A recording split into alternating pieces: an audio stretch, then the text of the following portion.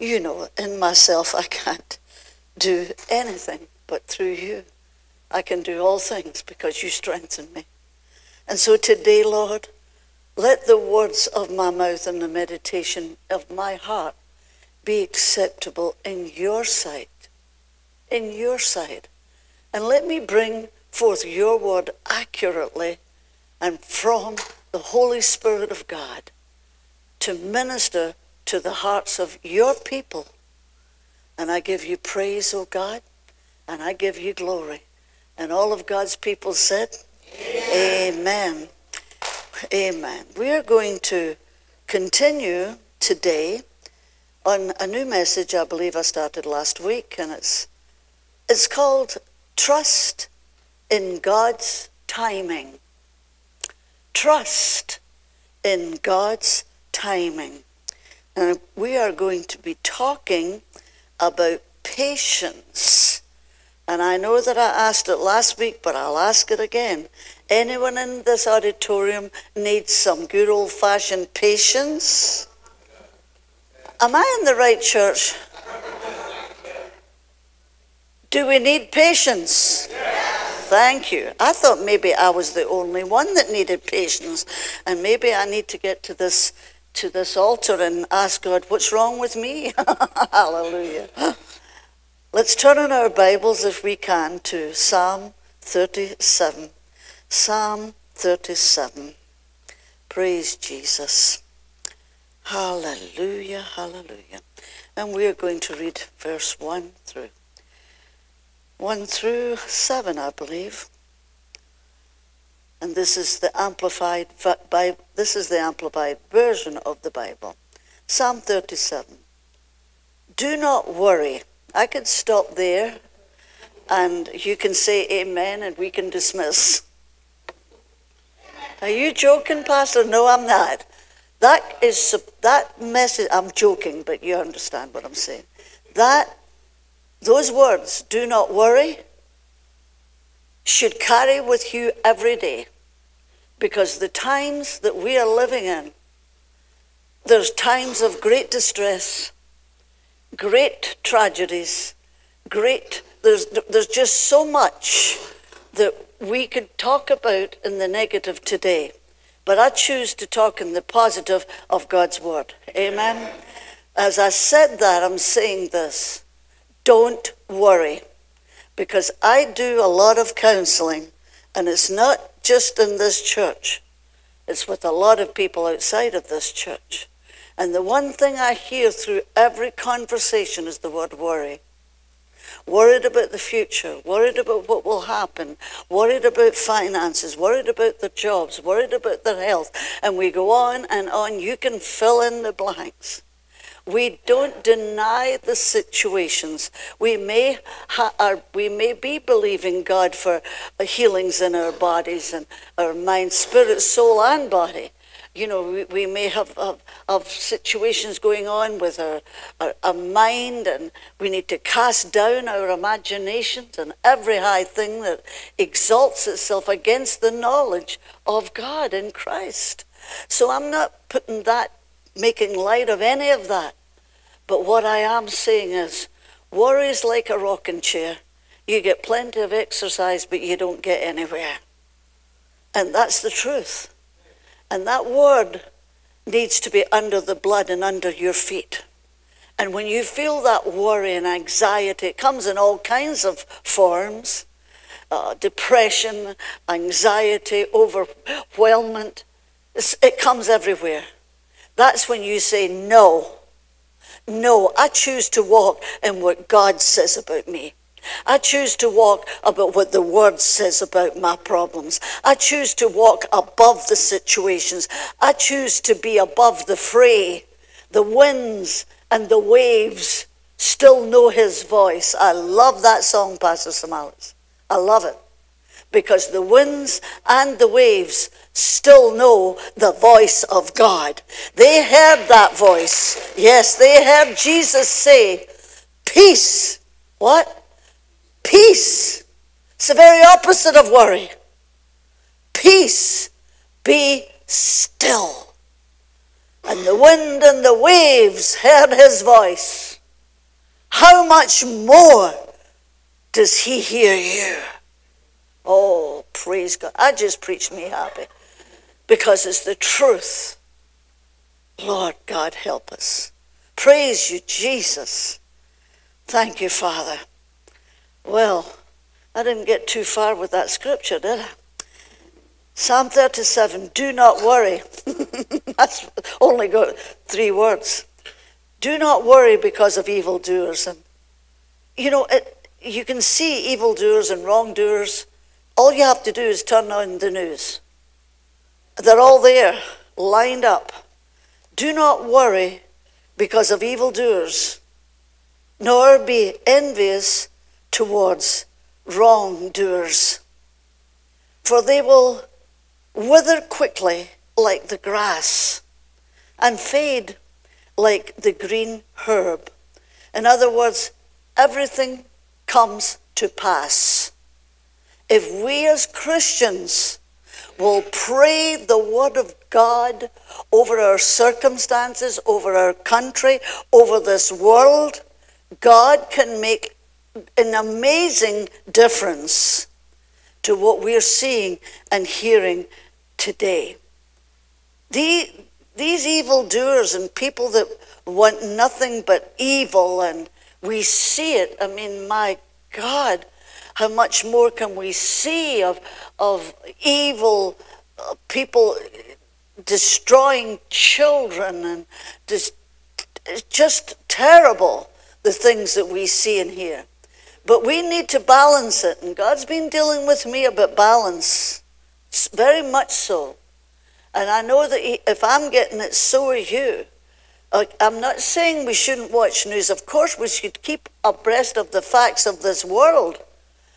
But I think we need to time ourselves and get into the Word, give, give the Word equal time. Amen?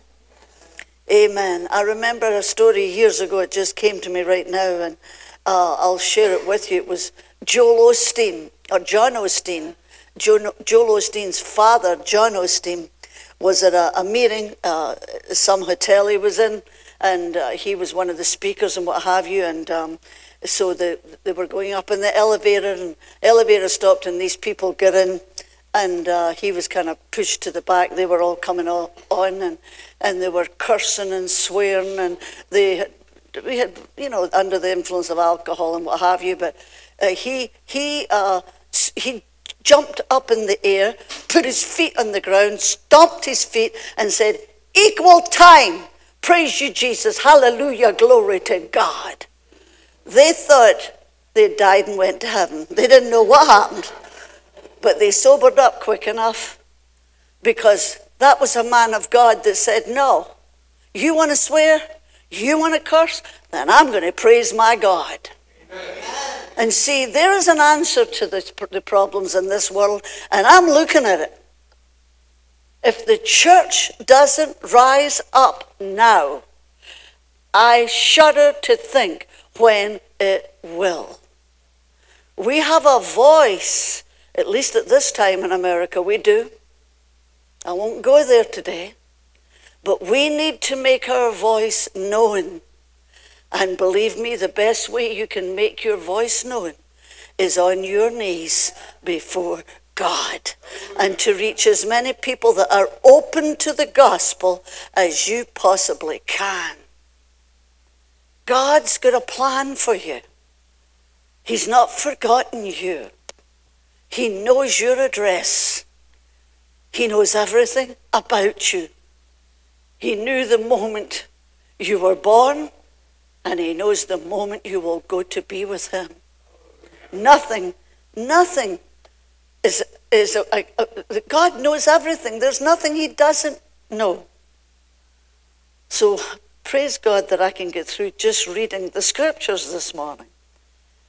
They will wither like the grass. Verse 3. Right, verse 3. Trust, rely on, and have confidence in the Lord. And here's three words and do good. Do good. So the first three words I wanted you to remember was 37 1. Do not worry. That's the first three words. The second three words I want you to remember and do good. Do good. When you do good, when your heart does not condemn you, then you have confidence towards God. Ask what you will. That's what he's saying here. He's saying, rely confidently in the Lord and do good. Dwell in the land and feed securely on his faithfulness. Wow. I love that. Feed securely on his faithfulness. In your life, beloved, you will know you have, us. I think I may have shared this last week, but if I have, I'm repeating it. There's people that will be in your life, one for a reason, a season, and a lifetime. And there's reasons and seasons and lifetimes. And there's times, I thank God for all of the lifetime peoples in this house. If you're, you're still with me or you're with Jesus, and nobody could ever bless a pastor any more than I just said to myself with those words. I've been blessed by God to have the most wonderful people in my life. And so I'm saying something that's important. You have, you know, your people that you, you bless that, that are there for a lifetime, a season, whatever. But then you've got people that walk out of your life. And these people may cause you hurt, may cause you wounds. You may, you know, get to the place where you say, oh, I'm done. Well, I seen, I heard a few people that agreed with me. Because if you live long enough, you will face these things.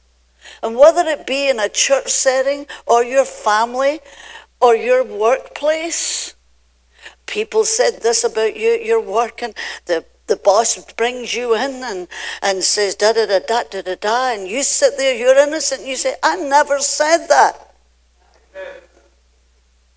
Are you hearing me today?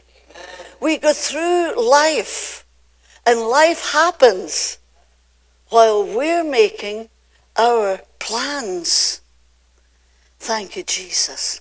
So we need to feed securely on His faithfulness. Many people will jump ship, but many people will stay on board. Hallelujah. Give yourself a big, big praise. Hallelujah. Delight yourself. Now, I love this scripture.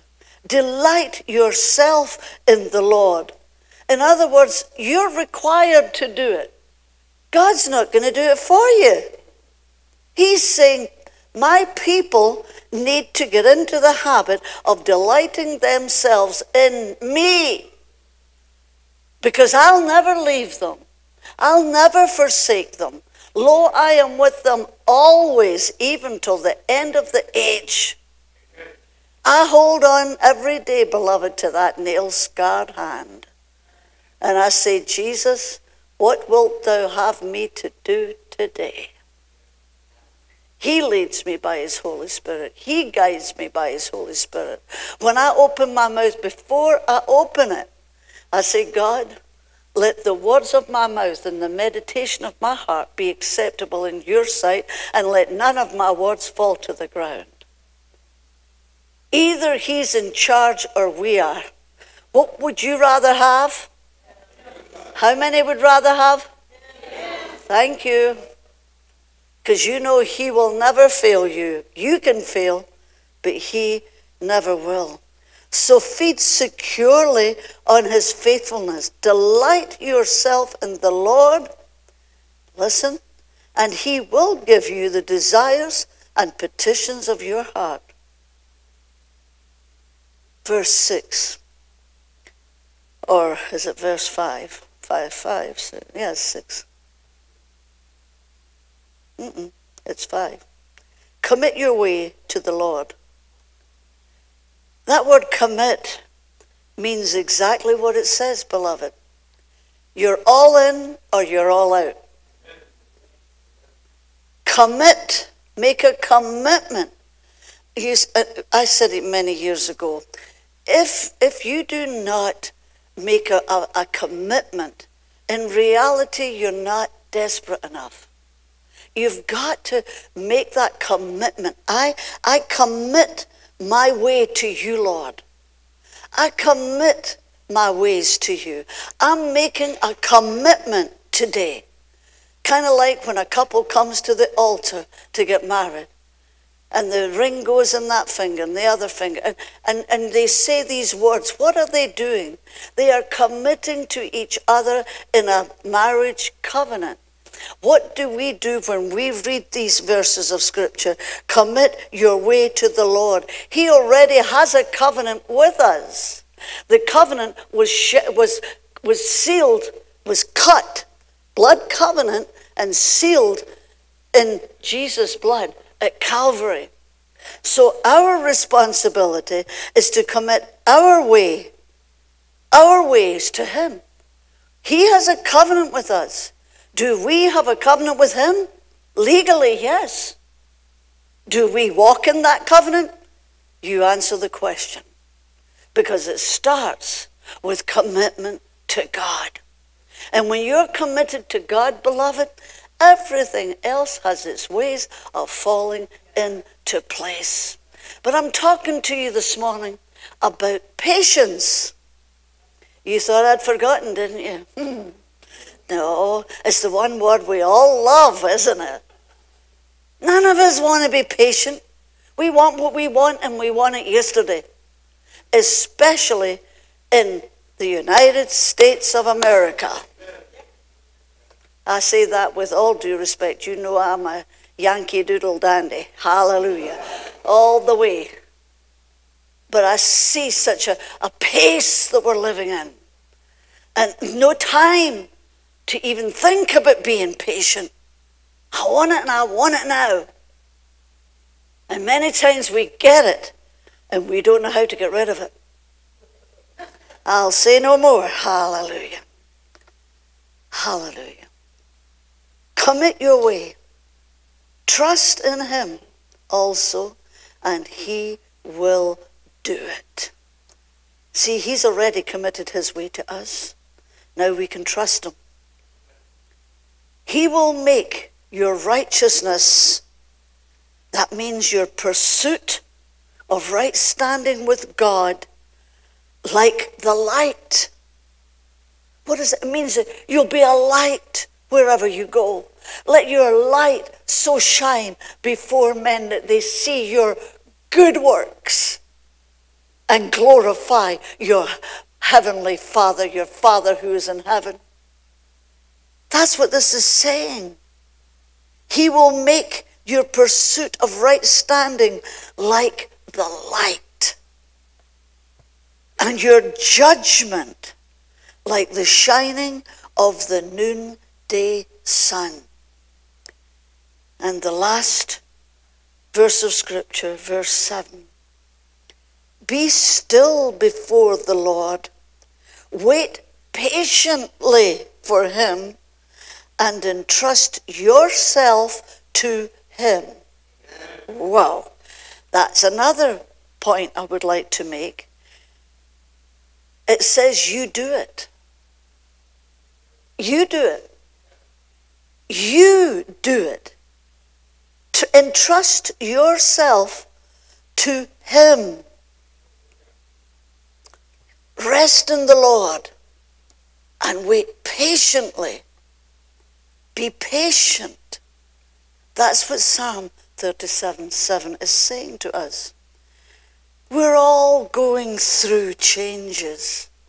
I don't know one person in my life that's not going through a change. And actually, it's life quite frankly, when I walked into the office this morning and, and saw my, my three grandbabies, or great grandbabies, um, I just look at them and say, When did you grow that big? Hello? I just seen you a few weeks ago or whenever. And then I hear one, one saying, Mommy. I said, When did he say that? Are you hearing me? So we're all growing. We're all growing in stages through our lives. But what happens is we want to go ahead of it. And we're not ready. It's like these beautiful two little, three little grand, great granddaughter and two little great grandsons. It's like telling them, hey, I know you're not, you're not old enough yet, but do you want to drive home?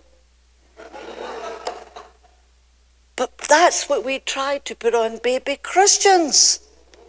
Oh me, oh my. Yeah, anybody got any tomatoes out there? I don't think so. I'm teasing, I'm teasing. But sometimes the truth gets through. And we need to be patient with each other. And we need to understand where that person is. They could be 60, 70, 80 years old and be a month old in the Lord. And that makes all the difference. And they need to grow thereby just like all of us. So we're all going through changes. Nothing comes easy. But I'm here to tell you, as the pastor of this church, beloved, and please hear my heart, these are some of the most exciting changes that I will ever go through in my life, what I'm seeing happening here in this church. It is really exciting and very, very encouraging. But the one thing that we all need to get together on is we need to learn to be patient. Oh, these are great ideas. Oh, yes, Pastor, I want to do this. Oh, yeah. Yes.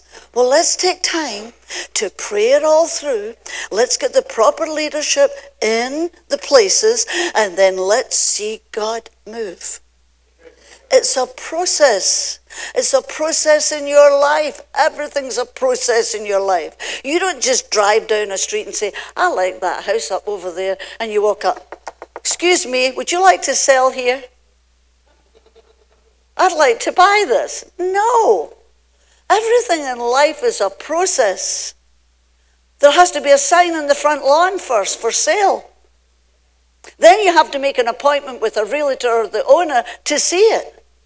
But we, I understand today, I do understand today's society, I do, more than you think I do.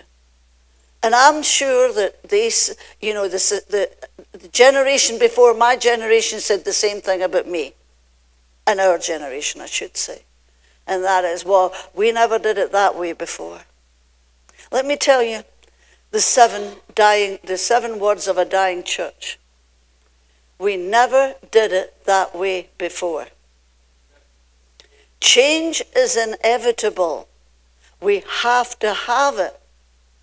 Beloved, I'm going to give you a statement that you won't believe. Someday I won't be here. I, I meant that joking but I mean it seriously. Someday, this church will have a totally different face, but it will still be God's church. It will still be what He planned in my heart to bring down to each generation. And so I am learning what I'm teaching you right now. I'm learning to expect to expect great things from God. But there's a process to everything. And everything that's worthwhile in that process is hard work and patience. Patience is something we could all stand to have more of. We just don't want the tribulations that come along with it. If you and I are going to strive for patience, it's going to come with a price. And don't say I didn't tell you. You'll be tried and tested during the process of acquiring it. Patience, and I want you to hear this, and if you're taking notes, you might want to write this one down. Patience counteracts anger and keeps us content. Ever heard that one before? I'm going to say it again. Patience counteracts anger and keeps us content. Godliness with contentment is much gain.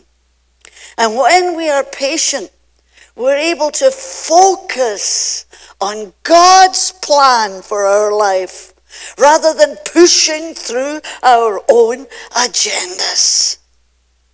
Too often, we try, beloved, to open locked doors because of our impatience.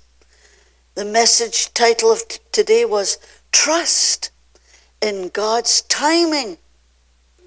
And if you don't, your attitude will soon go south. Blaming everyone and everything for your failure except you. Can anybody hear me? Beloved, I'm, I've been here. I've walked what I've just told you. I've had to get before God many times in, over these years and say, I'm sorry, Lord, I went before you. I see that now. And I'm paying the price. But you know what? The God that I serve always is there in goodness and kindness for me. He's always there to say, Good, you finally woke up and saw it. You know you're a determined one. That's how he talks to me. It's not thee, thou, this. Thee, thou. No. He says, Pat, it's about time you got on your knees. It's about time you repented for that stupid, stupid decision. Is anybody here? Thank you. I know none of you have ever had to do that. I'm only talking to me today. And maybe a few out there in social media. You know better. So do I. We have all been there. That's what I love about the anointing God put in my life. It's called two words be real. People don't care how much you know until they know how much you care. And that's my anointing. I never had this, uh, and I'm for education one million percent. I see my grandchildren being raised up in colleges and all these other things. We couldn't do that in my day. I left school at 15. One day later, I was working, working in a city bakeries up at four, four o'clock in the morning to get there from, for a van that came down from the big city, Glasgow, to our little town of Ayr with all of the bread and the buns and the cookies and the sugars and all the other stuff. When I say sugars, I mean desserts and all these things. That's how I started my life at 15 years old in a month. So I never had this education, education. What you hear me say from this pulpit is nothing more the anointing of the Holy Spirit of God. I've had to sit at His feet to learn these things. And again, I'm for all education, as long as, of course, it's to the benefit of your soul and is, is good and wholesome. I'm for all of it. I just never had that opportunity. But I refused to sit down and, and, and feel sorry for myself and say, I can't do this, I can't do this. You can do all things through Christ that strengtheneth you. You can do all things through Christ. Don't tell me you can't, because God's saying you can do all things through Christ that strengtheneth you. But you need to make the decision. You need to understand that life is all decision making. And the decisions you make today is for your future tomorrow. Hallelujah. The day that I left Scotland, I had no conception, none whatsoever, of what my future held. My husband, as you know, got saved first. Came home to me. And I, you know, literally, I went, I, I mean, I, I was not the best wife in the world for a long time. I don't even want to get into all the details, but I really thought he had lost his mind. And he wasn't taking me down that road with him. Until God got a hold of me. Don't you ever, ever, ever give up praying for a family member. Never. Never. His arm is not too short that he can't carry them. And his eye is not dim that he can't see them. Oh, yes, the God you serve, the God I serve, is faithful. God's timetable, if rather God's timetable isn't matching up with ours, as humans, we try to take matters into our own hands. And when we do this, we inevitably end up failing because we're focusing on our will and not His. Our will and not His. Well, Pastor, how do you know the difference? There's many ways you can know, but the big one for me is my ways, meaning God. My ways are peace and pleasantness. And if you don't have peace and pleasantness, you better pray again. And if the decision you make brings brings trouble and, and agony and you know deception and all these negative, negative, negative things to other people, that's not peace and that's not pleasantness. So get before God again. I could give you many examples, but that's the best one I have. I follow after peace inside of me. And if I don't have that peace and that nice, pleasant feeling, that's the only way I can describe it, beloved, then I stop right where I am. And I say, something's wrong with this idea, isn't it, Lord? It's a good idea, but it might not be a God idea. Am I ministering to anybody in here today? Amen. Thank you, Jesus. It's the same in the business world. Everything you do, you should follow after peace and pleasantness. What decisions you have to make, especially if you're in managerial position and you have to deal with people every day. You have to be in prayer before you deal with them.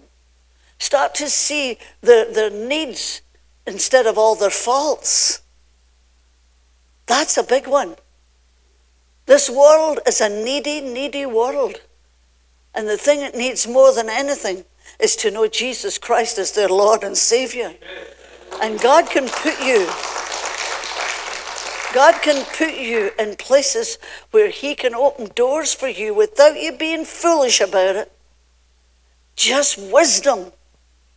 And you can lead many, many to Christ as I hope to get to some time today. We'll see. It's time is really going on here. Hallelujah. But God's, if God's timetable is not matching yours, don't take things into your own hands. You will end up failing. Here in Psalm 37 7, we see that this verse is a good reminder not to get frustrated. That was the word I was looking for earlier in slow times, but to await, await on God. Wait for an awakening from God. Hallelujah. When you're on an aeroplane, the captain usually comes on and says to sit back and enjoy the flight. Beloved, the same is true with patience. Sit back and enjoy your life. It's the only one you've got. Because God will get you to where you are supposed to be. So be still and know that He is God. Be still and be patient. He goes before you with faith in your heart and patience in your heart, you will make it.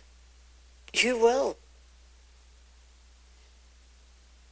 If you feel today like you're about to lose hope, faith, patience, and everything else, and you don't know what to do, could I encourage you? In 2 Corinthians 4, 8, 4, chapter 4, verses 8 and 9, Paul was a man of great faith. And he says these words We are hard pressed, which means troubled on every side, yet we're not crushed. You know, I stop for a moment just to think of what we're hearing every night on television. It describes this. This is the state the world is in. But Paul, this was personal to him. We're hard, we're hard pressed. We're troubled on every side. Yet we're not crushed. We are perplexed, but not in despair. We're persecuted, but not forsaken. We're struck down, but not destroyed. All of us have felt like Paul did at one time or another. This is the faith that Paul lived. He didn't just talk about it, he lived it. It says, We're troubled on every side, yet not distressed. Being distressed, listen to this, is when the stress and pressure on the outside get on the inside. Aha. Uh-huh. Can I say that again? Being depressed is when the stress and pressure on the outside get on the inside. It is possible to have stress come against you, but not be distressed by it. We should be too blessed to be stressed. Hallelujah. Perplexed is not being sure what to do. He says, but be not, but not in despair. Despair is when you don't know which way to turn. Ask God, and He'll show you what to do. He'll show you how to have the victory through patience. Faith doesn't say you never have any trouble. It says faith, trouble, excuse me, doesn't have me. It's funny, when I was looking at my notes last night, I was thinking about a marching song that I heard played many times on the wireless, the radio. We didn't have television back then when I was growing up, very young after the war but it was a, a marching song that kept the morale up with all the troops. And they'd have a, they'd, they'd have a kit bag. If you don't know what a kick, uh, excuse me, it, was, it was called, um, uh, um, okay, kit, K-I-T bag, a kit bag. And it went over their shoulders as they were marching. And this is the song, a, a little bit of it, I don't remember it all. It says, Pack up your troubles in your old kit bag and smile, smile, smile. Pack up your troubles in your old kit bag. Brother, it's, oh, I forget the rest, but it says, keep on smiling. What's the use of worrying? It never was worthwhile. So Pack up your troubles in your old kit bag and smile, smile, smile. Now, you can't leave here and say services at Fair Havens aren't different. because they are. They're led by the Holy Ghost. Amen? I can have all the notes in the world, but at the end of the day, I'll obey God. So faith doesn't tell you that things will never happen. It says, I'm going to win. Jesus is on my side. I will let this attitude be in me, which was in Christ Jesus, and I will do it by faith. And in 1 Timothy 3 it says, In the last days, whoa, and we're in them, there will be trouble. The devil is trying to defeat us and to destroy us. 1 Timothy 4 1 says, In the latter days, some shall depart from the faith. Well, that's history. Hallelujah. I've seen that. I've seen too much of it, and God bless America. Whenever we're going through a trial, your faith is on trial. The devil is trying to, dis- to dismantle you and trying to damage your faith, especially when you lose faith in your God. The truth is, if you depart from the faith, then the great trouble in the last days, the hard to bear problems will defeat you because you won't have your faith to strengthen you. God has provided us with something to handle the stress and the trouble the ability to walk by faith. Faith. Oh, hallelujah. Faith in God. And adjust, if you need to, your attitude to walk in it. There is no better way to get out of stress, to handle, uh, or to or handle, to get out of, of the stress of handling people and problems than to believe God and obey Him. I'm all for counsel. Beloved, I do it practically every day of my life on a telephone for the most part. But I lead those people, even leaders, I lead them. It's time to get, and I say the same thing. It's time to get in your face for yourself to get before God. You need to hear God for your answers. I can pray, but I can't give you the answers. And people, as long as there's people, beloved, there's going to be problems. And they need to learn. And the kindest thing you can do is turn them to God. Help them as much as you can and then turn them over and say, I've done my part.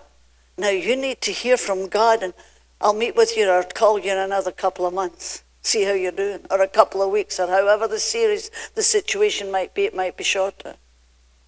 But we can't do for people what God has already done on the cross. They need to be able to grow at their own pace, and we as Christians need to mentor those that we can.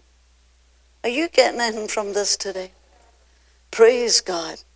In the last days, trouble will come. But all things are possible to him who believes. Faith will come.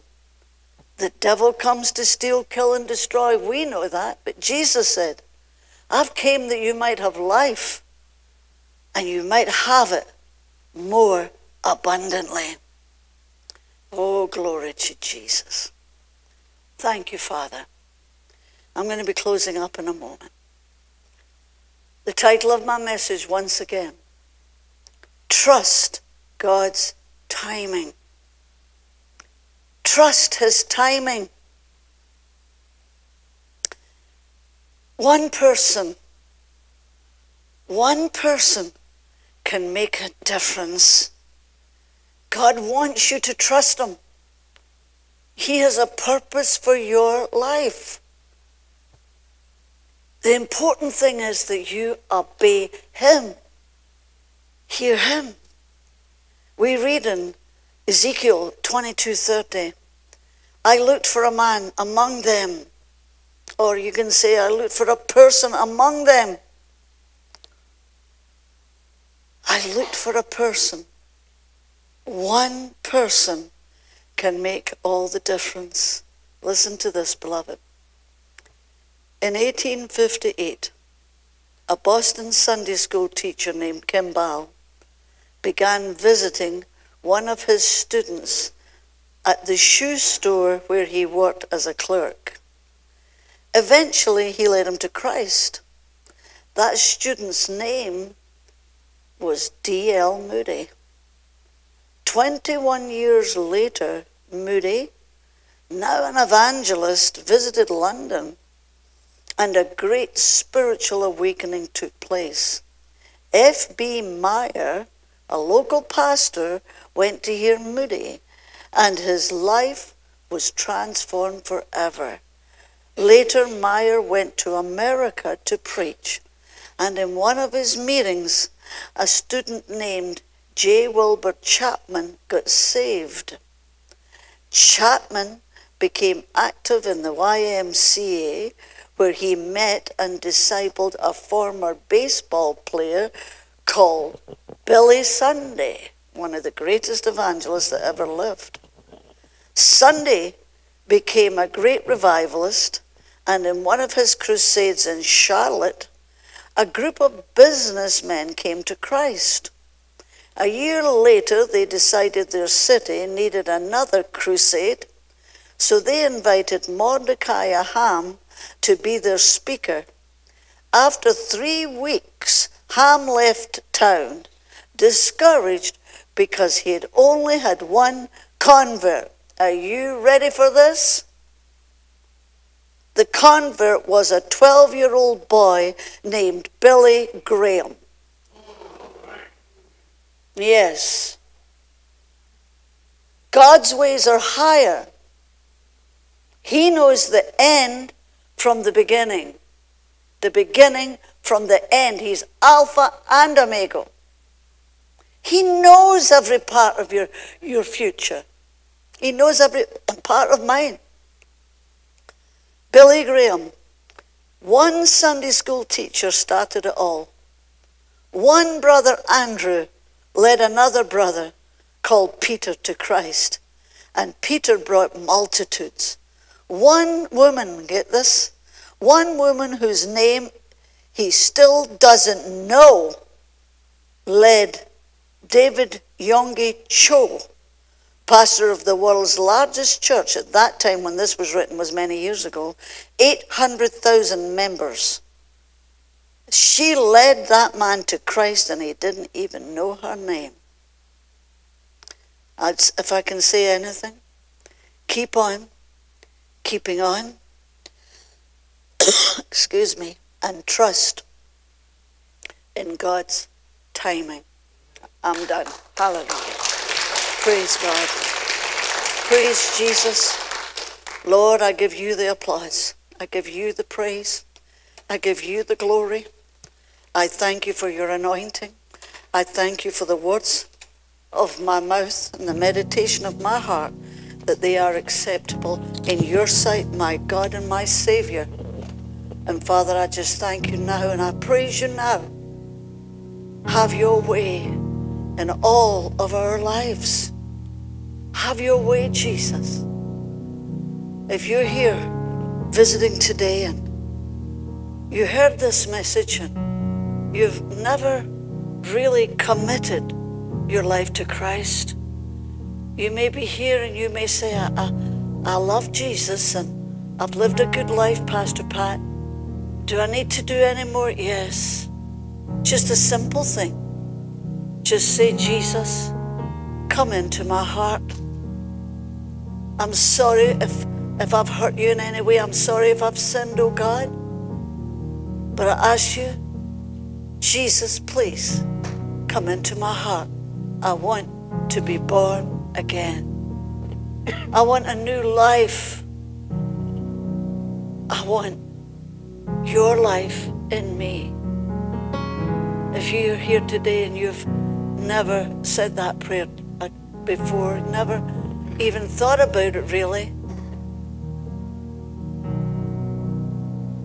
if that's you, just raise your hand. I, I, for the, all these lights, I can't see back there, but somebody will see if you raise your hand and put it back down again. We have pastors that will come and talk to you after the service. And so now, Father, as I graciously and gratefully give you all the praise, I dismiss this beautiful congregation. I bless you in the name of the Father, the Son, and the Holy Spirit of God. Go with Jesus, He's going with you. Pastor Bob, thank you. Just wait for one more. Yep. Thank you, Jesus. Praise God. Great message, Pastor. Thank you. Hallelujah. Thank you. Well, as Pastor said, uh, The services at the Fair Havens are gloriously different. For those of you that weren't here during the announcement time, uh, we're planning um, to have um,